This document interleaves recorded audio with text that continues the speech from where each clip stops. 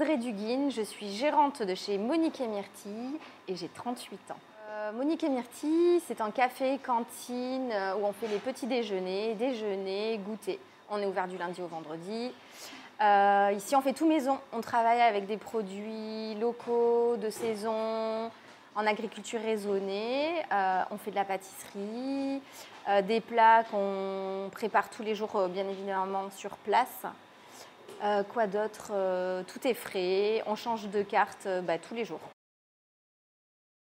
Alors, je bossais dans le secteur culturel, euh, dans la communication. J'ai travaillé au 104, à la Gaîté Lyrique, euh, dans, des, établissements culturels. Euh, voilà, auprès des artistes, on mettait tout ça en œuvre.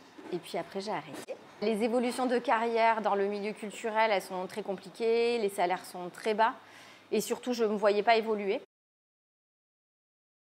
J'ai travaillé en restauration bah, les étés, comme beaucoup de gens. J'ai beaucoup aimé le temps passe vite, c'est vivant, on parle aux gens. J'adore la cuisine. Euh, j'ai décidé du coup de faire une reconversion professionnelle euh, en passant par le CEPROC et j'ai surtout vu qu'il y avait des, euh, des, formations accélérées. Donc en huit mois, avoir son CAP, pouvoir après prendre de l'expérience, ça m'a plu. La formation, bah, c'est super complet la partie technique, la partie théorique. Euh, alors c'est un peu dur quand on est un peu plus âgé euh, d'être à l'école. Hein. Et puis il y a les stages qui complètent la formation, enfin moi qui m'ont énormément aidé aussi à comprendre que je ne pouvais pas monter ma boîte tout de suite, qu'il fallait prendre de l'expérience. Euh, ça c'est très important. Et bah, on a eu des, des, professeurs d'une grande qualité. Enfin, moi, j'ai beaucoup aimé. Enfin, je m'y suis épanouie, en tout cas, dans cette... je me suis vraiment sentie à ma place ce que j'avais à cœur, c'était vraiment en termes d'hygiène, parce que ça, on ne retrouve pas. Euh, c'est ce moment-là de la formation où on a le temps de se former sur l'hygiène et sur toutes les techniques de base, et qui a été très important pour moi et qui m'a rassurée après dans ma carrière. Euh, parce que j'avais cette base-là. Et en fait, c'est des gens euh, voilà, qui sont hyper carrés, donc qui nous ont transmis ça. Et en plus, on peut poser toutes les questions qu'on on a pu aussi se parler après, une fois que la boîte était montée. Donc, donc voilà, c'est des gens que j'ai énormément appréciés. Euh. Un secteur où globalement on est quand même bien payé, surtout des fois avec un niveau d'études qui est bas. Donc je trouve qu'il y a des perspectives d'évolution. Un patron de restaurant, quand vous êtes motivé dans l'entreprise, il n'a qu'un intérêt, c'est vous, vous garder, vous faire évoluer dans l'entreprise euh, parce que c'est compliqué. Donc je pense que tout ça aussi, ça remet les choses en perspective. Mais de donner du temps et des, conditions de travail dans la restauration, ça, il va, falloir.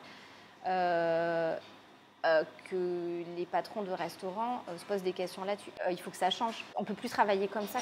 C'est surtout quand vous avez des gens qui se donnent, c'est fatigant physiquement. les gens se donnent à fond.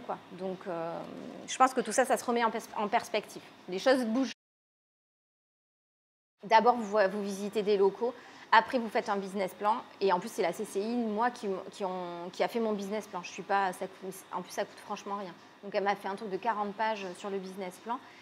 Euh, et, du coup, elle, a été capable de me dire, parce que c'était une dame, Dominique Villechenon, qui était capable de me dire, ouais, là, ce, ça, ce projet, je le sens, celui-là, je suis un peu plus sur la réserve. Donc très important euh, faire tout ça. Et puis après, elle m'a conseillé une avocate euh, donc moi, et du coup, j'ai visité un local qui était à côté de chez moi. Il y avait l'extraction, le bail ne posait pas vraiment de problème. Donc du coup, tout de suite, j'étais voir l'avocate. J'ai été faire lire le bail à l'avocate. Elle m'a dit, il n'y a pas de point bloquant, tout va bien, tu peux y aller. Euh, moi, j'ai voulu une politique de tarif, euh, de, de prix en tout cas peu cher. Donc, on fait tous tout. On fait de la cuisine, on fait du service, et en même temps, on fait la vaisselle, enfin, on fait tout. et en même temps, je trouve que c'est hyper important de, euh, bah, sortir de la cuisine et d'aller discuter, d'être avec les gens euh, en salle. c'est génial, ça apporte une satisfaction qui, aussi qui est importante. L'apprentissage, c'est hyper important, enfin, c'est génial. Et surtout de, de montrer aux apprentis qu'aujourd'hui, la restauration, ça peut être ça. Euh, je trouve ça hyper important. Que c'est pas que travailler comme un comme un fou, dans des conditions où on ne vous traite pas toujours très bien. Euh, je trouve que ça donne aussi un peu d'espoir et une image du métier qui, vaut le coup. quoi. Euh, c'est très bien de vouloir se reconvertir dans la, dans la restauration, mais d'abord faites une formation, faut arrêter de croire que la restauration, parce qu'il y a énormément de gens qui veulent euh, travailler dans la restauration. Oui, moi je veux monter mon café, mon salon thé. euh, J'adore. Oui, ouais, enfin c'est du taf, hein, euh, c'est du taf. Et en fait, quand vous êtes gérant de société, c'est pas que de la cuisine. hein, donc il faut calculer. oui, vous allez nettoyer les toilettes. Oui, vous allez sortir les poubelles aussi. C'est pas que le glamour. Euh, vous faites une formation, vous prenez de l'expérience. Moi, j'ai pris 4 ans et demi d'expérience, enfin plus toute l'expérience que j'avais parce que moi, j'ai quand même beaucoup travaillé pendant dans mes études dans la restauration. C'est un métier, en fait, qui demande énormément de compétences et surtout, au-delà des compétences techniques, c'est aussi des compétences physiques, de savoir si ça vous convient ou pas. Un métier génial qui a euh, énormément d'avenir, que euh, moi, euh, c'est une citation, euh, ça peut être moi, donc ma mère bossait dans la restauration, mon parrain était pâtissier, mes grands-parents étaient de la restauration. Et moi, j'avais vachement souffert, ma mère travaillait le soir, et j'avais vachement souffert justement de ne pas voir ma maman qui venait, venait me coucher. Et j'avais dit, jamais je travaillerai dans la restauration. Et voilà, aujourd'hui j'y suis, je suis épanouie. C'est un métier... tout dépend ce que vous en faites, mais en tout cas qui s'adapte aussi à vous. C'est un métier, enfin moi j'adore, enfin je changerai plus là. Et puis qui vous offre plein de, plein de perspectives. Vous pouvez voyager. Moi un jour, enfin aujourd'hui on fait des expos. Euh, aujourd'hui, euh, moi j'aimerais aussi peut-être rebosser dans le milieu culturel, monter quelque chose.